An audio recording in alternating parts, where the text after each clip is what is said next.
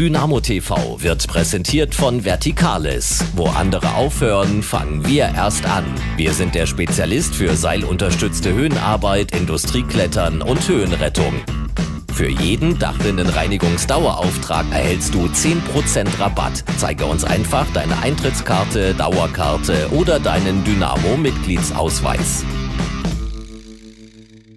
Ein Klassiker der süddeutschen und österreichischen Küche, einer der dienstältesten Dynamo-Profis und einer der besten Köche aus unserer Stadt, aus Dresden. Das sind die Zutaten für die heutige Folge von Schwarz-Gelb gekocht. Ich freue mich. Herzlich willkommen. Schwarz-Gelb gekocht. Die neue dynamische Kochshow. Präsentiert von Küchenhaus Hillig. Wir schießen keine Tore. Wir bauen Küchen. Und Elektrofunk, der Arbeitgeber für Elektroprofis.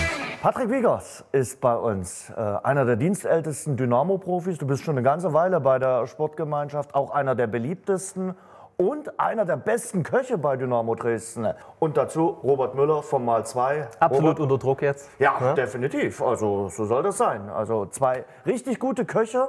Und was machen wir, Männer? Ich habe mir einen Zwiebelrostbraten gewünscht ähm, aus meiner Heimatengericht, das ich gern mal hier essen wollte. Und ähm, ja, ich esse das sonst immer nur zu Hause, wenn ich meine Eltern besuche, meine Großeltern. Äh, und ja, jetzt wollte ich den einfach mal hier essen und auch selber machen.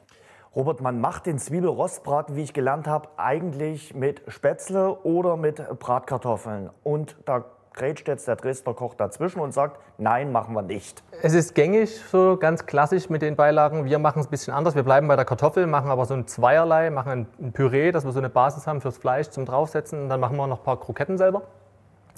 Ähm, machen auch keine Röstzwiebeln äh, im eigentlichen Sinne, sondern machen eine Kruste draus. Weil die Kruste ist immer ganz spannend. Wenn man eine Kruste kann, die Basis, kann man dann alle Krusten abwandeln. Und eine Kruste alle Krusten dieser Welt für alles Fleisch dieser Welt. Sozusagen. Sehr und schön. damit kann man das Fleisch immer schön äh, aufwerten. Ähm, genau, dann haben wir noch ein paar Möhrchen, die wir dazu machen und eine Schmelzzwiebelsauce. Also der Bildungsauftrag soll erfüllt werden bei Schwarz-Gelb gekocht. Jetzt kommen wir zu den Zutaten. Was haben wir denn heute hier stehen? Was brauchen wir denn? Ganz wichtig natürlich, äh, der Hauptakteur, das Fleisch, haben wir ein Roastbeef. Mhm. Du kannst da auch ein anderes Fleisch nehmen, ein zum Filet Beispiel? zum Beispiel, okay. um das einfach mal in ganz andere Sphären zu heben und das völlig abzuwandeln. Aber klassisch ein Roastbeef. Ähm, ja, und hier Kartoffeln, viele Zwiebeln für unser Zweierlei von der Kartoffel und eigentlich auch das Zweierlei von der Zwiebel, nämlich einmal die Röstzwiebelkruste und die Schmelzzwiebelsoße. Kartoffeln welche? Mehlig kochend. Mhm. Ähm, kochen wir dann auch eine Masse, nehmen uns ein bisschen was weg für die, äh, für die Kroketten und äh, der andere Rest wird das Püree. Hier haben wir noch ein bisschen äh, ein grobes Paniermehl für die Kruste, noch ein paar Röstzwiebeln, die wir am Ende auch noch mit in die Kruste geben können, wenn sie nicht intensiv genug wird. Schauen wir dann einfach mal. Und noch ein bisschen Brühe, die brauchen wir für unsere Soße. Okay, dann legen wir los. Wieger, der Ruf eilt dir ja voraus, einer der besten Köche zu sein bei Dynamo. Wie kommt das? Seit wann kochst du? Seit wann stehst du am Herd? Ich glaube, ich habe schon als kleiner Junge bei meiner Oma mitgeholfen, immer gerne äh, ja, Plätzchen gebacken, Kuchen gebacken. Äh, das haben wir immer gemeinsam gemacht. Kannst du mir raussuchen? Welches du möchtest? Ach so, ähm, nee, du weinst hier ein bisschen. Robert, du musst Zwiebelschälen. Und äh, ja. ansonsten, ja, als ich dann das erste Mal alleine gewohnt habe, äh, musste ich natürlich auch mich selbst versorgen. Vielleicht auch meine Schwester, die gelernte Köchin ist und auch vom Beruf Köchin, äh, mir da mal ein bisschen ein paar Tipps geholt, was so geht. Und ja, äh, ich habe eine große Leidenschaft entwickelt äh, im Kochen. Äh, habe es dann für Niklas in der, in der WG, WG. Äh, des Öfteren versucht. Aber ich äh, stehe jetzt auch nicht jeden Tag in der Küche und zauber da großartige Dinge. Also es, es ist schon sehr, sehr einfach und äh, gut bürgerlich. Äh, das heißt, viel Butter, viel Sahne äh, in den Soßen ist jetzt nicht unbedingt die äh, perfekte Sportlernahrung, deswegen gibt es es auch nicht jeden Tag. Ja. Ähm, aber ich mache halt einen Unterschied zwischen, was ich gerne esse, also richtig gerne esse und mein Lieblingsgericht äh, nenne und äh, was ich halt zu mir nehme, weil ich es muss aufgrund meines Berufes und auf, ja, dass ich halt fit bleibe. Und ähm, wobei es da auch gute Sachen gibt. Und so ein Roastbeef ist jetzt nicht das Schlechteste und eine Kartoffel dazu. Äh, also es ist nicht ganz so schlecht, äh, wie es dann klingt. Ist der Zwiebelrostbraten, gehe ich mal davon aus, ganz weit vorn bei den Lieblingsgerichten. Was ist das Lieblingsgericht schlechthin, wo du sagst, dafür gehst Dafür du muss ich fest? halt immer nach Hause fahren zu meiner Oma und äh, das wünsche ich mir auch wirklich jedes Mal, wenn ich dann zu Hause bin. Das ist der Schweinebraten mit Klößen und Sauerkraut und äh, Kartoffelsalat und ja, also das, äh, da geht nichts drüber. Ähm, da kommt auch der meiner Mama nicht ran, der meiner Schwester auch nicht. Also das ist wirklich äh, das Beste vom Besten und ähm, ja, da bin ich immer tierisch glücklich und da esse ich auch dann mal einen dritten und einen vierten Kloß. Äh, ja, wenn es gut ist und in, in Soße tunken, äh, das, ist, das ist genau meins. Und, äh, ja. und der Zwiebelrostbraten ist halt dann das, was, wir, was ich gerne esse, wenn wir zu Hause dann in ein Restaurant gehen, in ein bayerisch, bayerisches Wirtshaus. Äh, da bestelle ich mir dann meistens den Zwiebelrostbraten.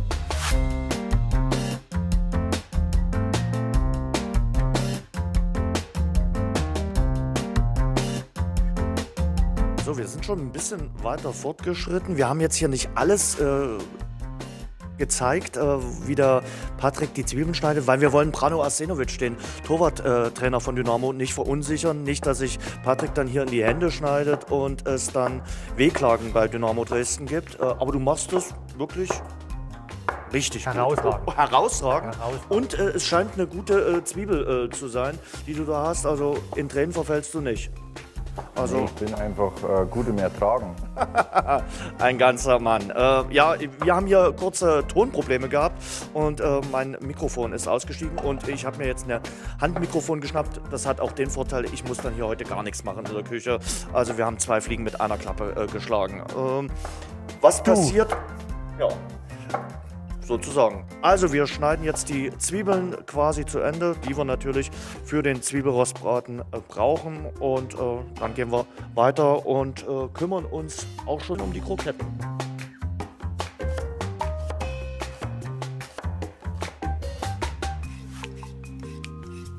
Wir haben da schon mal was vorbereitet. Gekochte Der Kartoffeln, weil Beliebteste Satz bei ja, Kochsendung. darf nicht fehlen. Die gießen wir jetzt einfach ab.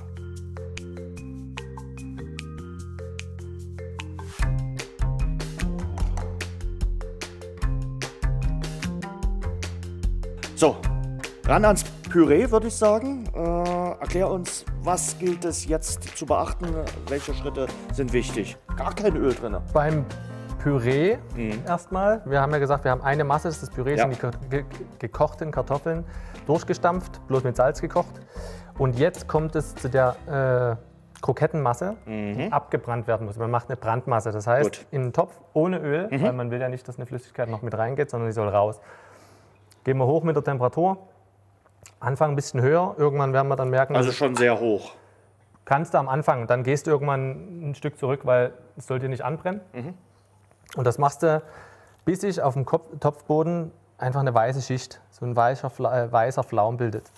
Du, das kann locker vier, fünf Minuten dauern, je Gut. nachdem, wie viel Feuchtigkeit noch an der Kartoffel dran ist. So, das würde ich einfach mal mit, mit im Blick haben. Für das normale Püree, äh, Kartoffeln einfach durchge, durchgedrückt, geben wir jetzt gleich noch ein bisschen Butter dran, Salz, Muskat und ein ganz klein bisschen Pfeffer. Äh, lassen es quasi ja, relativ neutral. Püree ist ja jetzt sicherlich nicht das, was man tagtäglich macht. Also da lernt der eine oder andere sicherlich heute auch noch mal was dazu. Und aus der Tüte muss man, wenn wir es jetzt hier sehen, definitiv nicht nehmen, weil es ist relativ schnell zu Also gerade Püree, ich sag mal so, die Kroketten gehe ich Ja. eher mit, dass die Leute sagen, äh, das mache ich nicht so Fritteuse. oft. Aber ein, ein Püree sollte man schon auf die Reihe bekommen. Denke ich. Dein Wort in des Hobbykochs äh, Ohr. Machst du Püree? Bist du Püree? Äh, Sehr ja? gern. Ja? Ja. Auch so in der Zubereitungsart oder äh, wandelst du es ab? Ich gebe manchmal noch einen Schuss Milch dazu. Okay. Äh, Kann man, Das ist so, äh, kenne ich auch aus der Kindheit. Da wurde auch immer mal kann man, Schuss, absolut. Ähm, ich lasse immer ein bisschen Kochwasser mit dran. Mhm. Ähm, dann äh, mixe ich es auf, auch aufpassen. Ich mach's, also manche machen es ja mit dem Pürierstab, Genau. mache ich zum Beispiel gar nicht, weil es verkleistert relativ schnell durch die Stärke in der Kartoffel. Auch das äh, Stampfen kann dazu führen, wenn man es zu schnell macht, dass es irgendwann verkleistert. Ich mache es dann immer mit so einem Küchenmixer, ganz kurz, so So habe ich es von meiner Mutter zum Beispiel gelernt, weil wir ja vorhin bei den, äh, bei den ja, Sachen waren, die man so mitnimmt, die man sieht. Und die machen immer noch das beste Kartoffelpüree. Und ich versuche immer da ranzukommen und das fällt mir relativ schwer, auch wenn es eigentlich einfach ist, aber mein Püree schmeckt nie wie das von, mein, von meiner Mutter. Ähm, aber da auch aufpassen mit der Küchenmaschine, dass es nicht zum Tapetenkleister wird. So, die Krokettenmasse sieht gut aus. Ja, hier unten siehst du es. Da war die Temperatur am Ende wahrscheinlich ein bisschen zu hoch, aber ist nicht schlimm, weil wir haben ja gesagt weiß, aber äh, wenn es dann so, Passt schon. so sieht es halt aus, wenn es abgebrannt ist. Geben wir uns einfach die Schüssel. Wir müssen es natürlich noch würzen, da auch Salz, bisschen Muskat und Pfeffer. Also ähnlich wie beim Püree. Genau, sind so, als wenn du es wenn du's ganz klassisch lassen oder eine Basis einfach lassen willst. Und so machen wir es heute. Du kannst das dann auch noch, ähm, kannst dahingehend dann auch noch abwandeln. Gerade beim Püree und auch bei den Kroketten äh, hast du dann ziemlich viele Varianten oder Möglichkeiten. Gut, dann denke ich mal, geht es auch so langsam ans Hauptgericht, wa- warum wir heute hier sind, oder? Also Zwiebelrostbraten klingt gut, aber wir sollten uns jetzt so langsam auch um den Zwiebelrostbraten kümmern, oder? Ans Fleisch auf jeden Ja. Fall. Patrick, äh, du darfst dich, glaube ich, als äh, Bratmeister jetzt betätigen äh, von diesen schönen äh, Stücken Fleisch. Also das sieht richtig gut aus. Also hast du nicht das schlechteste Stück Fleisch ausgewählt? Nee, wie du das gerade schon gesagt hast, da sollte man auch Wert drauf legen. Äh, da jetzt nicht günstig und, und äh, viel, das, da hat man keine Freude. Es bleibt am Ende nicht übrig auf dem Teller, weil es sich zusammenzieht oder es ist geschmacklich nicht, nicht gut, es ist zäh. Äh, gerade beim Fleisch sollte man schon lieber ein bisschen mehr ausgeben. Ist Rind bei dir das präferierte Fleisch? Ja, doch, schon. Also ist äh, geschmacklich einfach am, besten, gerade wenn es so in die Steak-Richtung geht, äh, dann soll es schon Rind sein. Äh, es darf auch mal ein Schweinenackensteak am Grill sein im Sommer. Äh, ist auch ganz gut. Äh, ansonsten halt Hähnchen und ja, Ja. Rind. Okay. Also jetzt noch äh, salzen und äh, dann geht's los. Genau. Da gibt es so einen, der macht das immer so. Ja. Ja. Da darfst du aber auch kein zu teures Steak essen, ne? sonst bist du direkt in der Kritik. Ja.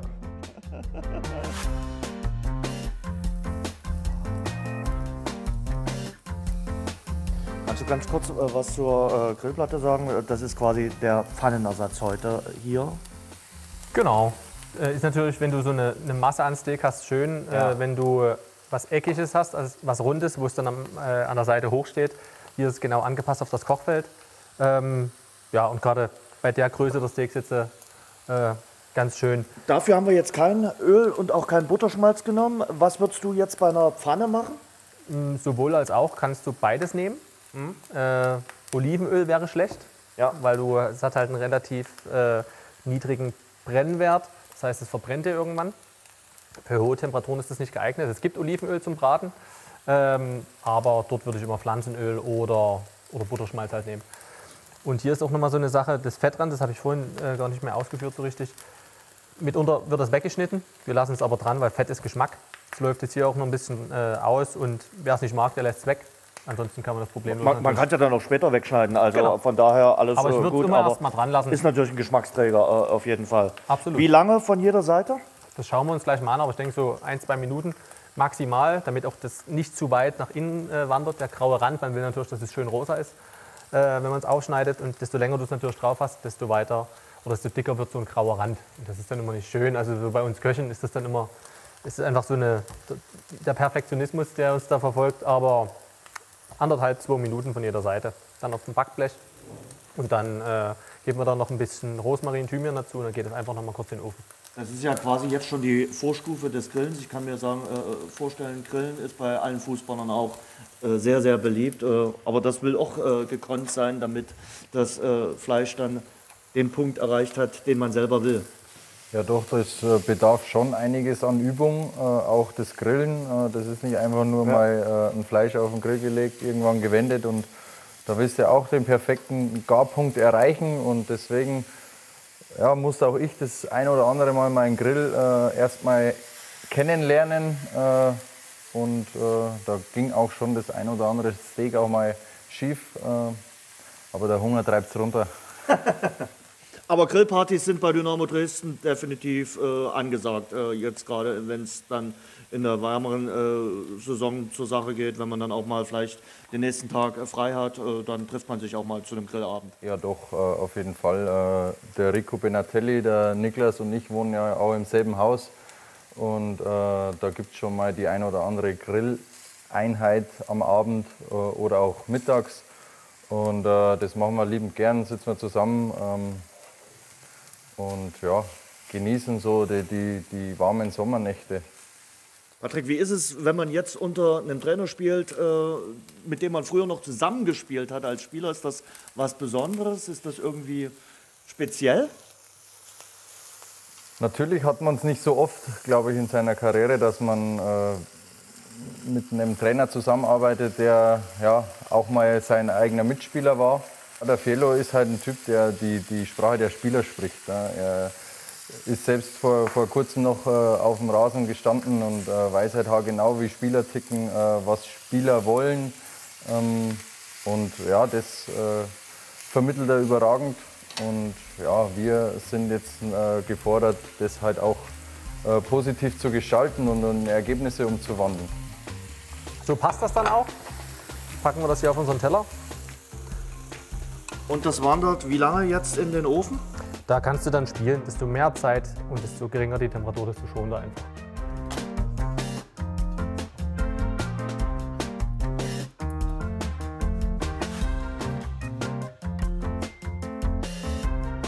Das Fleisch ist im Ofen. Jetzt müssen wir uns noch um den Vornamen äh, des Gerichts kümmern, um den Zwiebelrost quasi. Was gilt es da zu bedenken? Du willst ja auch noch an die Panade ran äh, vom Fleisch. Ähm, ja, die Kruste, genau. Genau. Ähm, wir nehmen jetzt einfach einen Teil von den Zwiebeln und zwar geben wir bloß ein bisschen Mehl in die Schüssel. Ein bisschen Paprika noch. Kann man, muss man nicht. Das ist jetzt kein Zwang. Und ein bisschen Salz. Paprika edelsüß. Du könntest auch Cayennepfeffer zum Beispiel nehmen, wenn du Okay. es ein bisschen schärfer äh, magst. Aber die ist okay, oder? Also Ja, alles gut. Und jetzt einfach ich esse die, gern äh, die Zwiebeln mit rein, alles schön durchmengen.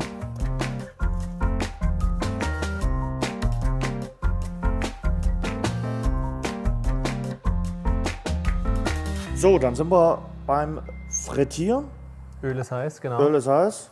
Heiß und fertig, wie man sagt. Ja, ein bisschen noch hier drüben. So, perfekt. Auch nicht zu viel, weil wenn es zu viel wird, Ja. ist das, kühlt das Öl relativ schnell runter. Lieber so Stück für Stück. So, äh, hier steht noch ein äh, Söschen. Wofür brauchen wir das? Äh, Das nehmen wir dann am Ende. Wir machen zwar eine Schmelzzwiebelsoße dazu, okay.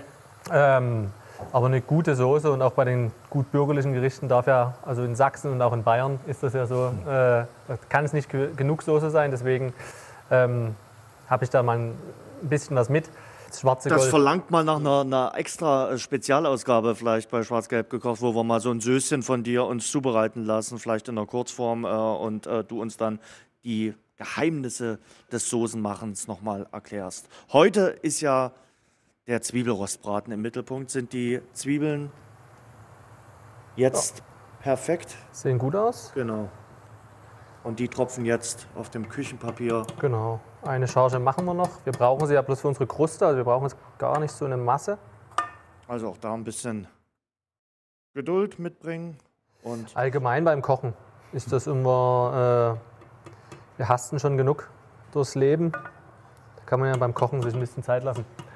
Und äh, das einfach genießen und auch Sachen ausprobieren. Finde ich immer ganz wichtig. Du denkst dann sicherlich beim äh, Kochen auch nicht äh, an eine Viererkette, die vor dir agiert, sondern äh, konzentrierst dich dann voll und ganz auf das, äh, was da vor dir steht im äh, Kochtopf. Ja, doch. Äh, es ist schon, wie man sagt, ja, man soll auch beim Kochen irgendwo ein bisschen abschalten. Gerade wenn man es hobbymäßig macht, äh, ist das für mich auch äh, ganz gut, weil man sich wirklich nur auf das konzentriert und äh, gar keine anderen Gedanken durch den Kopf schwirren.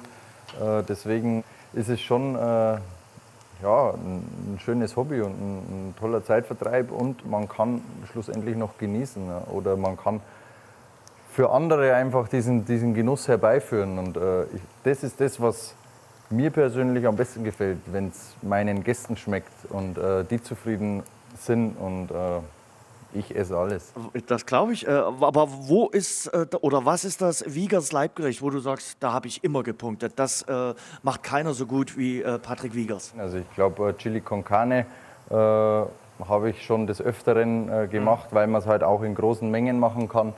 Ähm, das ich dann für eine größere Gruppe zubereitet habe, wo sie gesagt haben, boah, das ist echt äh, richtig gut. Oder wenn es mal Pasta sein soll mit viel Kohlenhydrate, dann habe ich auch äh, Spaghetti Bolognese. Also Bolognese darf man ja nicht sagen, äh, weil da muss bestimmte, äh, bestimmtes Zeugs rein. Ähm, aber ja, das sind so die einfacheren Gerichte, die man dann auch mal in größeren Mengen zubereiten kann. Was ich mich die ganze Zeit frage, ist, was wäre gewesen, wenn du kein Fußballprofi geworden wärst? Das klingt so, also da die Leidenschaft des Kochens hört man bei dir schon extrem raus und mit deiner Großmutter, Mutter, Schwester auch Köchin, da, da ist ja schon eine zweite Karriere so nebenbei denkbar. Naja, ähm, ich glaube nicht, dass ich Koch geworden wäre, aber ähm, ja, das, das ist halt was, ähm, gerade wir als Fußballer oder ich als Fußballer habe halt schon noch relativ viel Zeit, um mich damit auch zu befassen und ähm, mich auch mal zwei, drei Stunden noch in die Küche zu stellen und irgendwas auszuprobieren. Äh, das hast du als normaler Arbeitnehmer halt nicht. Da willst du, wenn du nach Hause kommst, wahrscheinlich schnellstmöglich was auf dem Tisch haben und äh, das, das ist völlig, völlig klar. Aber ähm, ja, die, diese Leidenschaft ist, ist in mir. Ich weiß auch nicht wieso. Ähm, aber mal gucken, was daraus wird. Also ich werde, glaube ich, nicht irgendwann mal ein Restaurant eröffnen. Das vielleicht mal, gewesen. vielleicht mal äh, werde ich dann meine Schwester mit ins Boot holen, äh, Ja. die dann das übernehmen soll. Äh, aber das, das ist ganz, ganz weit weg. Also zur Eröffnung würden wir uns anmelden. Äh, Seid da auch werden wir dann, eingeladen. Dankeschön. So, ich glaube, wir gehen in die Schlussphase. Äh, Ja. Wir nähern uns dem Ende und dann endlich dem Verkosten. So langsam bekomme ich nämlich Hunger. Äh, lassen wir den Wiege noch mal ein bisschen was äh, machen und seine Kochkünste zeigen. Stichwort äh, Schmelzzwiegel. Wie machen wir die am besten? Du hast schon das Richtige in der Hand. Butter. Also wir brauchen auf jeden Fall viel Butter. Ah, das gefällt dem Wiege. Ja, das habe ich mir natürlich gemerkt. Kann alles rein. Die lassen wir jetzt einfach zergehen. Passt? Dann kannst du dich so mit den Zwiebeln schon mal mit den restlichen bewaffnen. Wir lassen jetzt einfach oder dünsten jetzt so ein bisschen an, geben dann äh, Zucker dazu und lassen das alles ein bisschen karamellisieren. Von daher, diese Süße übertüncht dann auch so diesen ja, kantigen Geschmack von der, Ja. von der Zwiebel. Die Butter noch. Sieht auf jeden Fall gut aus. Ist ein bisschen abgewandelt von äh, dem Gericht, so wie du es kennst, äh, kann ich mir vorstellen. Ja, aber ich bin trotzdem neugierig, wie das schmeckt. Äh, Ich hoffe, dass man trotzdem diese Aromen alle Ja. äh, dann so äh, erkennt und rausschmeckt, wie ich sie äh, erwarte. Da sind wir echt neugierig. Also, das wird ein, ein kritisches Urteil. Da kannst du dich drauf gefasst machen, Robert. Ich glaube. Zumal, wenn das wirklich so immer mit der Heimat verbindet, Ja, ist es genau. immer relativ schwierig. Da verliert man meistens. Da kommt der andere Freistaat dann auch noch durch. Also da bin ich mal sehr gespannt äh, bei der Verkostung gleich, was das geben wird. Äh, ab, apropos, vor, bevor die äh, Verkostung äh, stattfinden wird, äh, müssen wir ja noch die Kroketten machen. Und die Kroketten machen wir ganz ohne Fritteuse. Die machen, naja, was heißt ohne Fritteuse? Das stimmt so nicht. Wir äh, geben halt auch Öl in den Topf und frittieren es da einfach drin. Ja. Du kommst um das Aber du kannst Frittieren nicht drum rum. Also du könntest sie jetzt auch im Ofen backen, aber nee, das ist so wie Pommes im Ofen machen. Die sehen zwar irgendwie ganz cool aus, aber lecker sind sie nicht. Und das ist bei der äh, Krokette ähnlich. Also die würde ich immer frittieren, auch zu Hause, Fenster auf, Frittö äh, die Abzugshaube, höchste Stufe oder halt im Gasthof.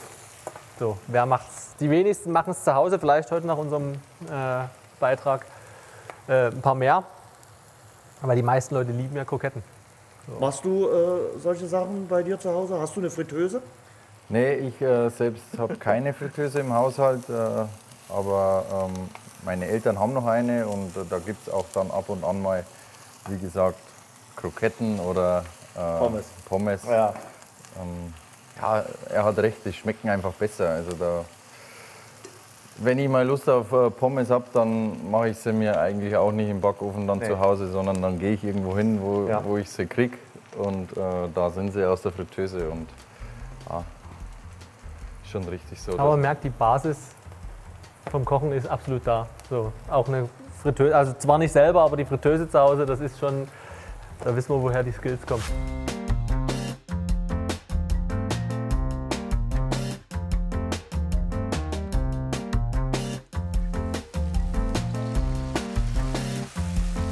Gut, jetzt lassen wir das einfach köcheln.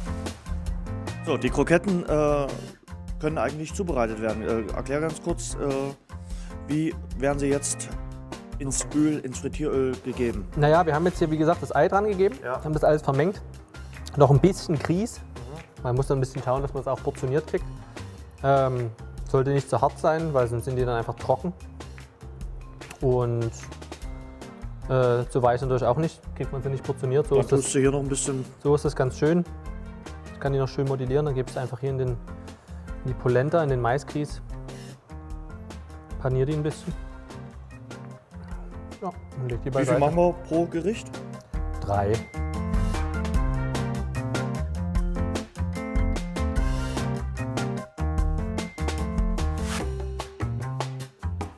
So, die Kroketten sind im Öl. Äh, es gibt auch diesen typischen Kroketten-Frittierduft. Äh, jetzt hier, was ist mit den Möhren? Die haben wir mittlerweile ins Die haben wir Wasser getan. bloß äh, in Salzwasser ein bisschen gekocht. Frag nicht, wie lange. Da die relativ klein sind, kochen das Wasser, ich sag mal, ein bis zwei Minuten. Das ist sehr schön. Mhm. Überhaupt kein Problem. Das haben sie jetzt auch geschafft. Die gießen wir ab. Die lassen wir schön goldbraun äh, frittieren, dann machen wir uns an die Kruste. Sehr gut. Was gilt es bei der Kruste noch zu beachten? Bei der Kruste, äh, na, die Basis ist immer eine Butter. Butter ist äh, wirklich hier massiv vorrätig. Naja, wenn ich das äh, Gericht schon so abgeändert habe, äh, dass es nicht mehr dem Original entspricht, dann sollte wenigstens äh, die Vorgabe von Butter und Sahne äh, erfüllt werden. Und das, denke ich, machen wir. Das, denke ich, machen wir. Und du hast ja vorhin selber gesagt, du bist bisher noch nie auf deine Ernährung angesprochen worden. Äh, deswegen geht das heute. Also, einfach ein bisschen Butter. Das ist die Basis. Du brauchst immer eine Fettigkeit. Dann haben wir unsere äh, Röstzwiebeln selber gemacht. Wenn wir die jetzt einfach so nutzen, würde man sie salzen, wenn man sie als Topping oben drauf gibt. Äh, wir machen es in dem Fall in der Kruste. Die einfach mit zur Butter. Die waren auf jeden Fall schon mal extrem lecker, die. Äh, Ich habe sie als Chips benutzt. ne? In der Zwischenzeit ein bisschen geknabbert. Wird immer mit weggenascht nebenbei. So, dann einfach ruhig mit der Hand hier rein und alles erstmal einmal vermengen.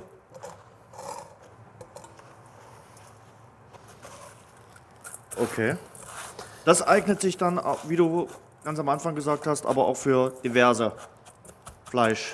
Genau, und du könntest jetzt äh, viele verschiedene, du könntest auch eine Kräuterkruste machen. Nimmst du äh, äh, Butter, bisschen Rosmarin, Thymian, äh, Schnittlauch, hackst das alles schön klein, gibst das da rein. Ähm, was du jetzt hier auf jeden Fall noch brauchst, ähm, so könntest du es natürlich jetzt nicht draufpacken, weil es Nee. noch zu flüssig ist. Daher nehmen wir einfach unser Paniermehl. Ich nehme dir mal gerne ein Panko-Mehl, das ist so ein asiatisches Panier Paniermehl, das ist ein bisschen gröber. Beim Asiaten um die Ecke Zum Beispiel. vorrätig.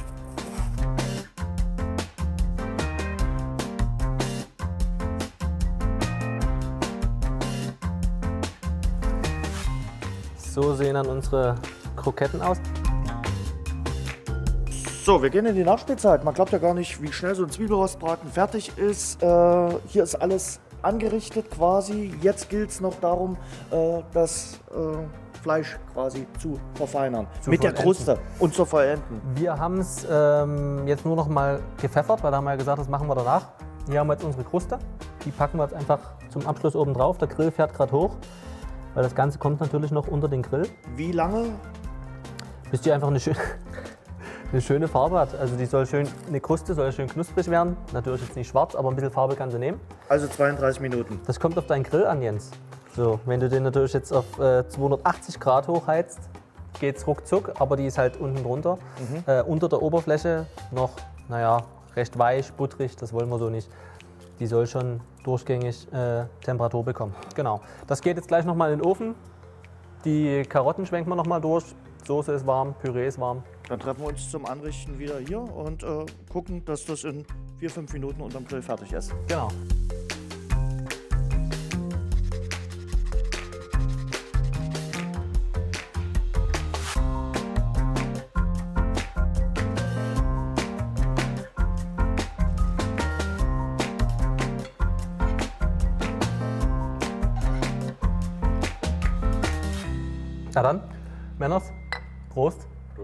Patrick, danke. Prost. So, das Bier stand ja jetzt nicht im Mittelpunkt, sondern der Zwiebelrostbraten. Deshalb würde ich sagen, probieren wir es mal, oder? Gern. Gut, Patrick, deine Meinung zählt.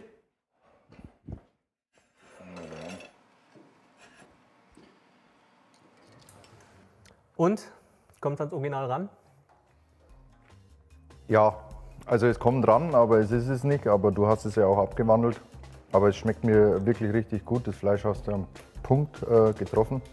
Oder was ich? Ich habe es ja gebraten. Ja, ich denke, ich, doch, wirklich. weil Du hast zuletzt den Teller reingestellt.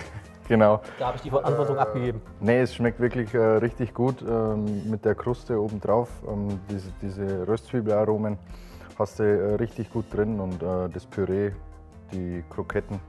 Die Karotte habe ich jetzt noch nicht gegessen, das mache ich dann am Schluss. Äh, nee, rundum, rundum zufrieden und gelungen. Bevor es an die Karotte geht, äh, Patrick, äh, bitte ich dich an unsere Unterschriftenwand. Alle, die hier mitgekocht haben, verewigen sich auf unserer Wand. Einfach irgendwo unterschreiben.